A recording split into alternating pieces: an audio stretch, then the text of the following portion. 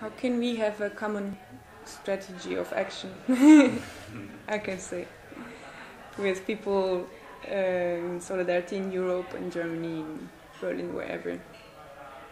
Because, yeah, as I said, as people, as these oppositionary voices, leftist people in Turkey are incapable. I think they uh, definitely need some kind of solidarity from outside of Turkey as well.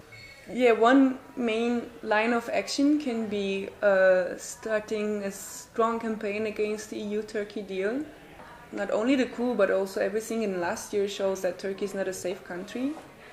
And it was not a safe country ever. Um, not only for Syrian refugees, but anyone, basically.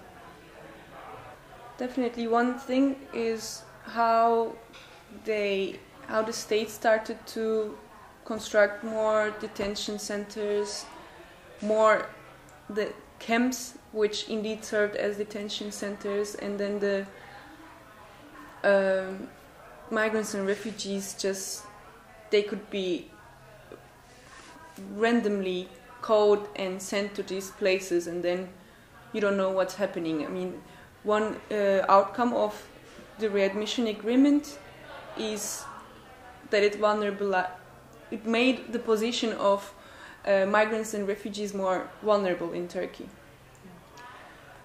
And the other outcome is that, um, as I try to say, um, I think it just served for Erdogan to um, polish his uh, image a bit more because in the last years he there were some diplomatic crises he had really bad relations with many countries and then finally he could provide a good image speaking with Merkel and I don't know acting as if all Europe depends on Turkey's role.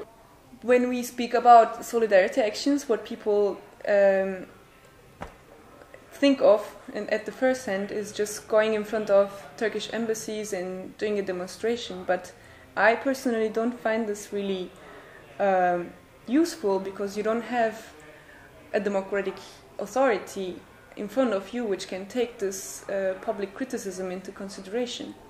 But this could indeed just like play in the hand of Erdogan to um, develop his discourse more about how the growing threats from outside is uh, targeting Turkey and the power and the integrity of Turkey is under threat by the outside forces.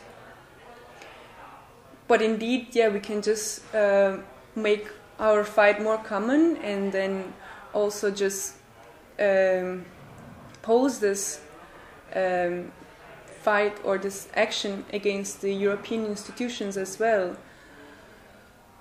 Like, that's why I think that we should make a strong campaign against the EU Turkey deal, and then we should claim that Turkey is not a safe country in front of European institutions as well.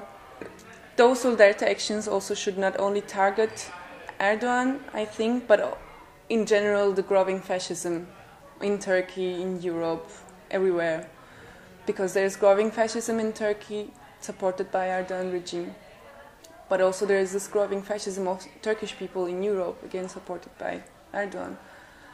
But on the other hand, there is a really growing fascism, like increasing uh, the support to the right in all Europe, in European Union, in European states. So we should make our struggle more common against any kind of growing fascism so that we don't let it go, we don't let it grow in any way.